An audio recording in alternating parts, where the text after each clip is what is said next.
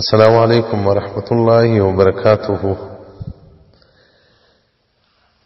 د زبير رضي الله تعالى عنه څخه روایت ان رسول الله صلى الله عليه وسلم قال وي رسول الله صلى الله عليه وسلم فرمایلی دی که څوک غواړي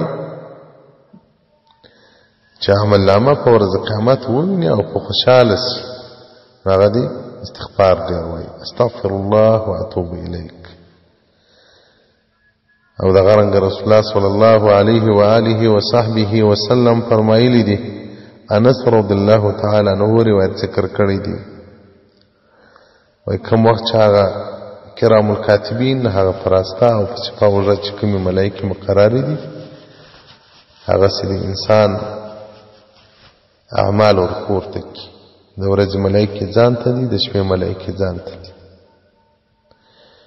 نو الله جل جلاله چې په عمل نامه کې وګوري په اول او په اخر کې استغفار وي الله جل جلاله و دې ملائکو ته وایي وایي قد غفرت لعبد ما دې بنده ته عفو کړې ده ځکه د عمل نامې په سر او په پای کې هغه استغفار دی او د غرنګ رسول الله صلی الله علیه وسلم فرمایي وایي زه د ورځي اویا واره مغفرت د الله څخه غواړم بل روایت کې راځي رسول الله صلی الله علیه وسلم وایي استغفر الله واتوب الیه اویا واره وایم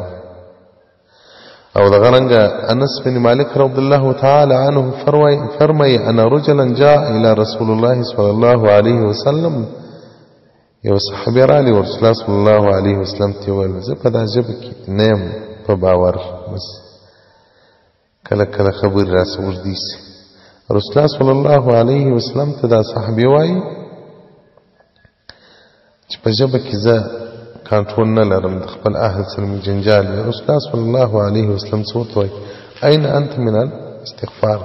ته استغفار ولا وایي رسول الله صلی الله علیه وسلم زه په شپه په ورځ کې څلور استغفار وایم استغفار باید مؤمن د ژوند لپاره عادت وګرځي او د غرنګ د عبدالرحمن رضی الله تعالی عنه څخه روایت ان رسول الله صلی الله علیه وسلم قال ای صحابه علی ورسول الله صلی الله علیه وسلم ته ول چې رسول الله داسې عمل له وشه چې په غسره زه جنت ته داخل سم رسول الله صلی الله علیه وسلم ورته وایي وایي غضب مه کوه قهر مه کوه درد مه دروله ولک الجنه تا ته به الله جنت درکړي هغه صحابي ورته وایي وایي زدني یا رسول الله ما ته زیادت نصیحت وکړه رسول الله صلی الله علیه وسلم ورته وایي مغفرت غواړه د الله څخه په ورځ کې اویا واره مخکې تر دغه چې لمر لوېږي الله جل جلاله به یغفر الله لک ذنب سبعین عاما الله به د اویاو کلو ګناهونه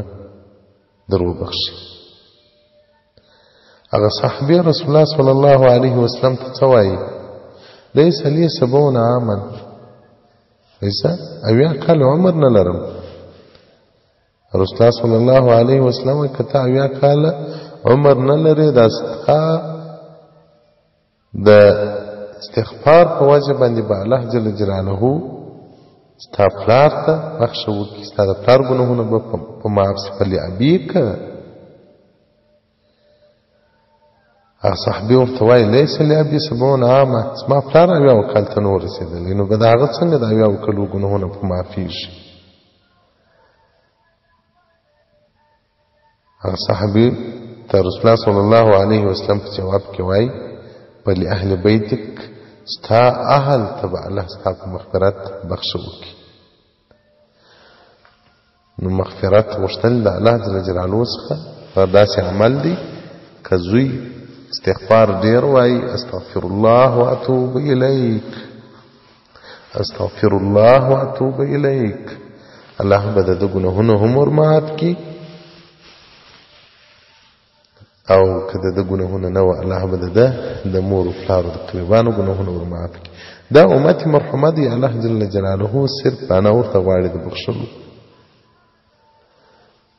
نو سهار چې راپورته شول تر ماښامه پورې تاسو اویا واره استغفر الله واتوب الیک وایاست ډېرې اسانه کلمات دي پر ژبه باندې او ډېره غټه لاسته راوړنه ده او دغه رنګ عثمان بن ابي العاص ثقفي روایت کوي د رسول الله صلی الله علیه وسلم څخه روایت ذکر کوي وایي د اسمان دروازې د شپې په نیمایي کې خلاصیږي یو اواز وسی وایي ایا داسې څوک شته چې دعا وکړي الله یې قبول کړي داسې څوک شته چې شی وغواړي الله یې ورکړي داسې څوک شته چې په غم کې طلب د نجات وکړي الله نجات ورکړي رسول الله صلی الله علیه و آله و صحبه وسلم فرمایي چې په دا وخت کې مؤمن دعا نه کوي بلکې الله جل جلاله یې ورم اوسته ورته دعا ورته مستجاب ګرځي ورته ځین قبلې ما سوا د هغه چا دعا په دې وخت کې نه قبلېږي چې زانیه ښځه وي پر خپل فرج باندې خلک راپولي یعنې زنا وکړي او هغه ټکس اخیستونکي خلک چې هغه ټکس اخلي له خلکو څخه او دغه رنګ د ابي موسی رضی الله تعالی عنه څخه روایت دی چې رسول الله صلی الله علیه و آله و صحبه وسلم به دغه استغفار ډیر وایي اللهم انی استغفرک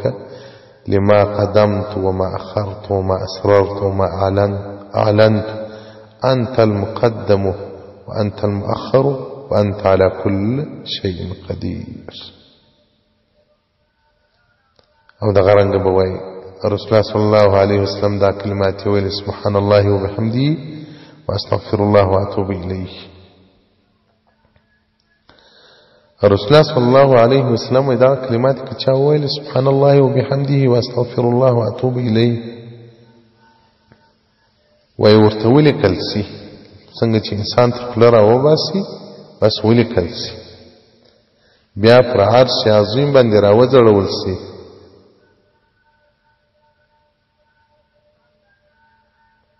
د عرش عظیم په کنارو راوځړول سي او څه ګناهونه چې د انسان کړي دي هغه معاف وي